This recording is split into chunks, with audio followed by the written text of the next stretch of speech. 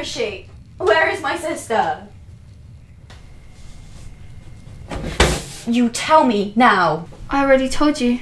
I don't know where she is. Liar!